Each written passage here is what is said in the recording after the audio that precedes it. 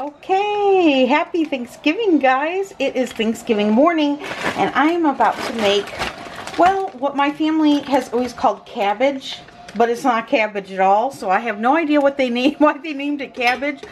And my mom and my grandpa are no longer here with us, so I can't ask them. But in traditional family way, I am going to just continue to call it cabbage.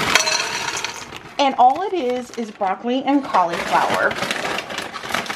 And it's another, again, very simple dish that my Welsh family made and had and served at every holiday. Um, this is a very simple, it just has salt and pepper. That's, that's it. Um, and butter. And my family uh, used to eat it with um, a side of mint sauce. I don't do that. I just like it the way it is. But um, you could definitely serve it with mint sauce if you wanted to do it the Welsh way. So, frozen broccoli and cauliflower in a big pot. Um, I'm making four bags just so that I have enough for Thanksgiving and for leftovers. And then we're going to go ahead and add just a bit of water to this. I'm going to go ahead and we we're going to add about two cups or so of water. And we are just going to might add just a little bit more water. I don't want to add too much. But we want this to kind of cook up, boil up, and um, yeah, I'll bring you back when uh, this thing starts okay. cooking. So, just to show you, um, I've been cooking this on high, well, medium high, with a lid on so it could steam down. And as you can see, if I can get it not to fog up on you, I have still some water in here. Now all I'm going to do is let this cook down and let the water reduce. Uh, this is all nice and uh, cooked. And it's okay if it mushes because we're going to mush it anyway with the potato masher um, as we go here. So as it cooks down, it will mush and we kind of just want to get rid of now any of this extra liquid here. So we're just going to keep cooking this on uh, medium high till this water cooks out of it. Okay, just to show you really quick where we are headed. You see it's starting to really break down now, which is exactly what you want. And um, once we get this water boiled out of here, um, that's when we'll mash it and season it. And then, just to show you what I got over here, I've got, I'm gonna set this on a high. This is how I do mashed potatoes in the crock. These are golden um, Yukon of potatoes that I cubed in one inch cubes. I buttered my the side of my crock and the bottom of my crock with a couple tablespoons of butter and then I went ahead and I just threw in all my potato chunks and then I added about a cup and a half of half and half. Uh, added four tablespoons of butter. Added um, probably uh, maybe two tablespoons of uh, minced garlic. Parsley, salt and pepper. And on with the lid it goes. And then once we, once these are all cooked and I mash them up, I will add some uh, cream cheese and some sour cream to this a little extra um, milk or butter if it needs it. But uh, that's it. On high, plugged in to my power strip over there. I've got apple crisp over here. It's like a apple brown Betty. what? What do you want? And then there's my homemade pumpkin pie. Those aren't getting refrigerated. I've got a chocolate pudding pie and uh, a pumpkin roll in the refrigerator. She wants something. It is early still here at the House of Khan on Thanksgiving morning. The parade just started, so she wants something. I gotta go find out what.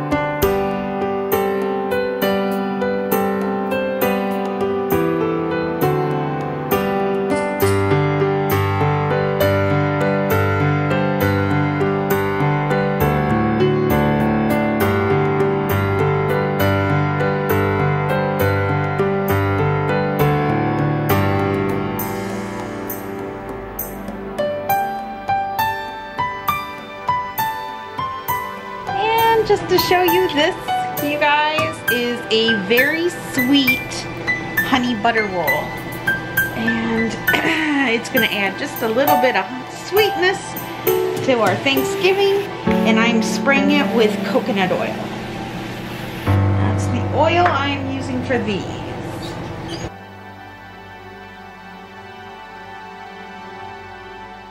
All right, back at the cabbage here.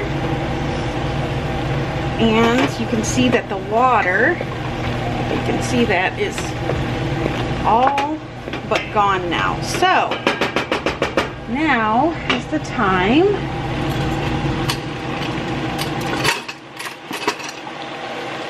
I'm going to shut this off and now I'm just going to mash it.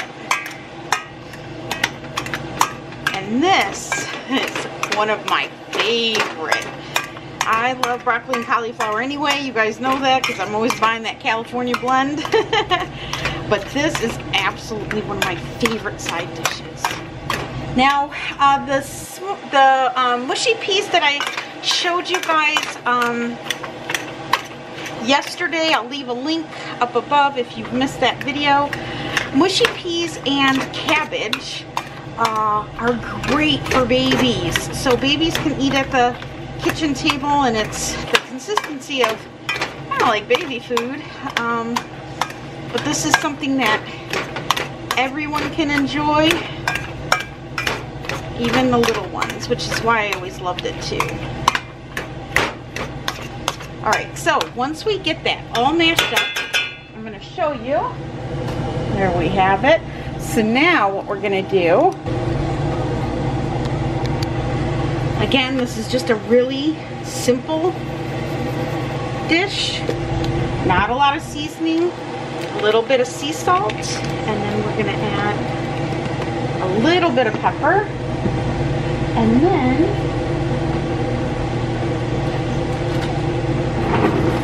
we're to go ahead and we are going to drop a few pats of butter in here.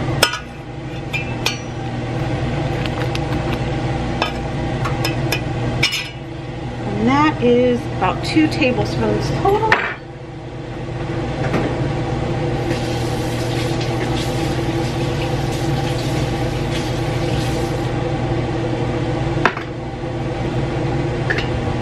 And then go ahead, mash that up.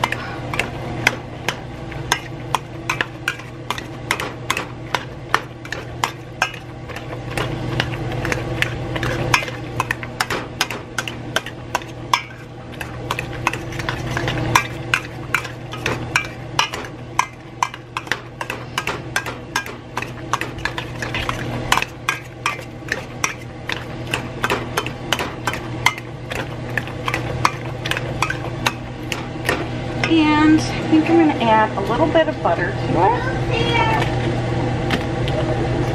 Oh, Luke has arrived. Okay. Hi, Mama. Hi, honey. Say hi to everybody on in YouTube land. Hey, everybody in YouTube land. And hi, Kendra, who's in Ohio. And hi, in Ohio. who's having Thanksgiving with her parents, but maybe one day when they're married, she'll be here making making cabbage with her mama, her new mama. All right. So happy Thanksgiving, Kendra. All right, so there we have it. So that was about four tablespoons of butter total. And that's usually what I use. It's a nice, rich veggie side dish there. So, let me show you the consistency of that. And I'm going to go ahead and I'm just going to taste a little bit, make sure it doesn't need any more salt or pepper.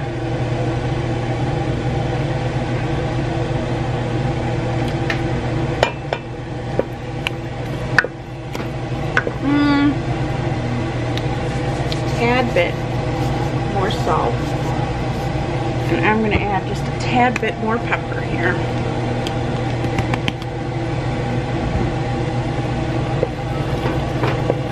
not much because you want it to be simple, just enhanced a little bit.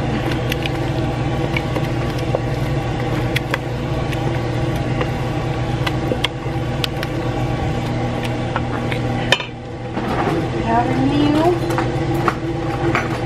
fork here. Give it a taste.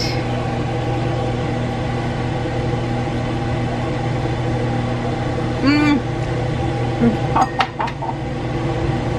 that is perfect. And that is exactly the consistency you want. So, this is going to go in my triple crock and it's just going to sit on warm until dinner. And there you have it, guys. This is cabbage. Again, don't know why they call it that and why my family called it that. Um, but we served it just like with the mushy peas at every um, family dinner. Any holiday or any big family dinner when my grandma would make family dinner and we'd all go over there for dinner. This is what she would make. So, I hope you enjoyed this and I hope you give it a try. If you guys like uh, broccoli and cauliflower, you will love this. The butter, the salt, the pepper, it's just, uh, it's so rich and it's just so delicious. And like I said, you can feed this to littles and they can eat it with no problem. And sorry I had my fan on. I know many people complain when I have my hood fan on. but it's steamy up in here and I gotta suck up the steam. All right, guys happy Thanksgiving. I hope you're having an excellent one. I'm gonna go smooch on my baby now, um, Luke, and uh, and I'll be seeing you guys later. All right, bye guys.